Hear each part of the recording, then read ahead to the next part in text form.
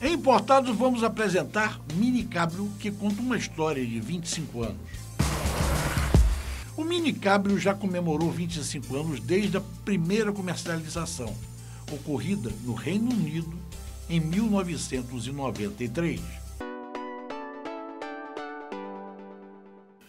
O primeiro Mini com carroceria conversível, denominado Rover Mini Cabriolet, foi lançado no mercado britânico em junho de 1993, influenciado pelo sucesso da versão exclusiva criada pela empresa alemã Lam Auto House dois anos antes e batizada de Mini Lam Cabriolet.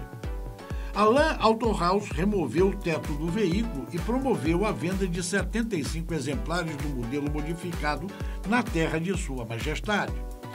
O sucesso foi instantâneo e todas as unidades do Mini conversível foram vendidas imediatamente, alcançando o cabriolé ao status de um dos mais raros Mini já produzidos.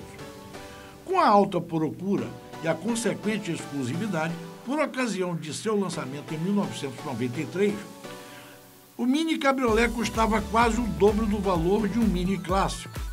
Hoje em dia, o novo Mini Cabrio lançado no mercado europeu vem com novas atualizações de design e tecnologia. Além do teto de acionamento totalmente elétrico, cada mini cabrio vem com faróis e lanternas equipados com LEDs, controle de distância de estacionamento traseiro, PDC, tela de 6,5 polegadas, chamada de emergência inteligente, rádio digital e conectividade Bluetooth, entre outros itens de série.